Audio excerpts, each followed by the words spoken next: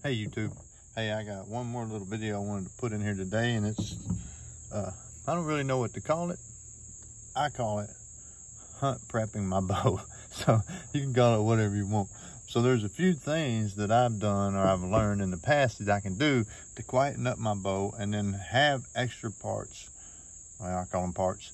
Uh, serving thread, D-loop material, things like that that's going to help you if you ever have an emergency. If you're like a lot of us guys, we hunt a lot of public land and we go out of state.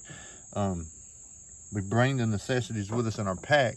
But I have literally sat on the ground in a ground blind and have a limb saw trying to cut crap out of my way and hit my bowstring.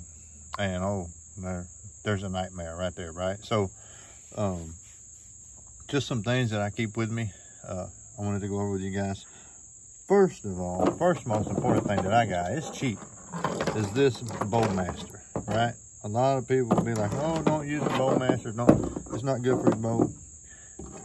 If you get a Bowmaster and you use it correctly, it I've, I've used it on my V327, on my VXR28. I've used it on my Traverse. Um, I think it's 33 or 34 inches. I got a Bowtech Revolt.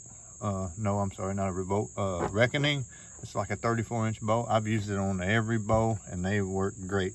I mean, I wouldn't try to swap cam bearings or nothing like that, but or shim your cam. But if you just need to get your string loose where you can fix your D-loop, I mean, not your D-loop, but your uh, peep sight, or if you need to fix your QAD or something like that, they, they work great. Uh, always keep that in my backpack um, when I'm out of town hunting. If I'm at home, I just go to my shop and I got a bow shop. I use my press, right? So, uh, what I like to do, because um, you don't want to carry serving in your pocket, you're just going to lose it. Um, I always take and I put some serving on one of my cables right here. That's about an inch of serving, right? Real easy to get off. If I have an issue with one of my uh, peeps or something, I can unravel this. I got lighters in my pocket or whatever. I can reserve whatever I need to do. Um, Another thing that I like to do is uh, I'm using a limb driven this year. So I have all of this extra cord in case I have a D-loop problem, right? If I have a D-loop problem, if it breaks, I can cut some of this off. I can use it, make a D-loop while I'm in the tree, on the ground, wherever I'm at, I'm good to go. Now, obviously, if you don't have your D-loop pliers, you're not gonna be able to pull it super tight, but I promise you, you can get it tight enough you can get a uh, a, a, green stick or, or an arrow, the end of an arrow like this. I've had to do it many times in the past when I was hunting. When I had a bad D-loop or it looked like I was gonna break it, I'd get my arrow in there like this and you can pull it tight like that. Yeah, as long as you learn to tie a D-loop, you'll be golden. Um, limb-driven rest. I know that a lot of guys are hooking them. Mathews is even making a a thing that you can put on right here right now and put your limb driven cable on there. A lot of people are putting them in here. Um, but when you take a limb driven rest, it's gonna hold your arrow, the further back you have it here, the longer it's gonna hold your arrow. However, the further back you have it here is the louder it's gonna get. Um, in another video, I'll actually tie one on back here and shoot the bow and let you hear it compared to up here. Uh, if you'll take that rest if you'll take your cord and you'll slide it forward until your until your arrow is about halfway back, your well tail will come all the way up when your arrow is about halfway back. It'll give you all the support you need in the world and it will be stone cold quiet. As quiet as any QAD or any other rest you can get. As quiet as a whisker biscuit. But you need to play with your timing on it. You need to move this forward. You want to make sure that your well tail comes all the way up. What I like to do is I use a purset knot. So I'll take this off, let my well tail come all the way up like that. I'll take a little pin or a little marker, mark it right there on the side, and then put, put it back down. Once it's down, I'll draw it back, till, and then I can see when I got it all the way up, right? And at that point, as soon as I can, as the further that I can get this string here draw my arrow back and have my well tail come all the way up, the quieter it's going to be. If you guys uh, want to, just give that a try. You can't hurt anything, right? See what it does. Uh, I used I wouldn't shoot a limb driven for years because of the noise. I'm in the South Arkansas. Our deer are tiny. Uh, they can hear a fly fart and they can be out of sight in a split second. They are quick. Um, so I like that. Another good, another thing I like to do is always tie a, a little cat whisker right on there.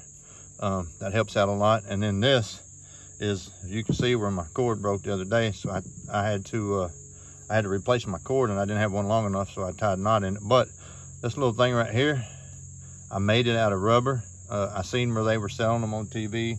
Now, um, I think I seen them on Elk Shape or uh, where they were selling those. They work great. I still keep my spring on there. I like the spring.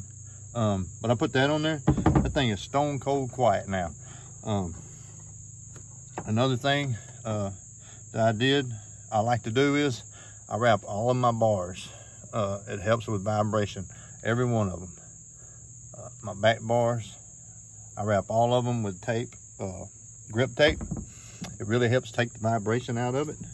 Um, it works great for me, especially on the, I like to shoot a long bar on the front. You get a lot of vibration with those. The more weight you put on, the more they vibrate. Uh, wrap that sucker up with grip tape. It'll take a lot of that vibration out of there. Not to mention, most of them are shiny and the grip tape, uh, you can get it real nice and dull. Uh, helps take away that shine. Um, another thing I do is I always put a rubber coating under my sight right here. So if when you're setting up in the in the stand, I have a rubber coating there.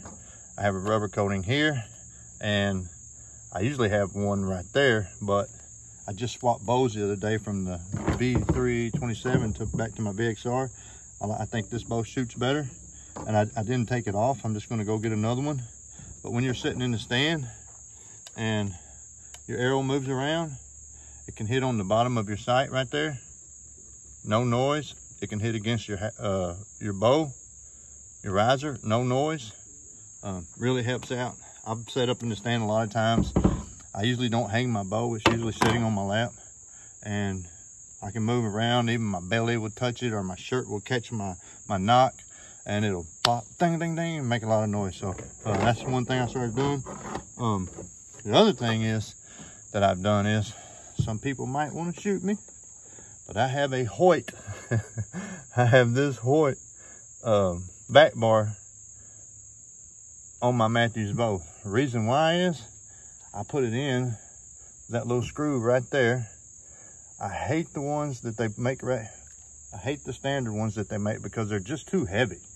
I do not like the weight. Every time I put one on my on my bow, I end up having problems trying to figure out my weight.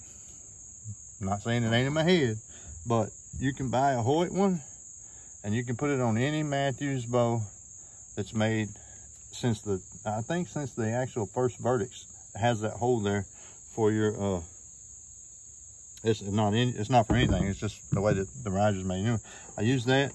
Um, everything's quick to connect. Uh,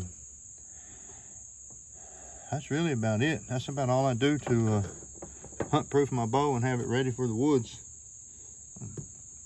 I don't know. You guys can try some of that stuff out and see what you think. It works good. Uh, and if you guys have anything that y'all are doing uh, that's been working for you, let me know.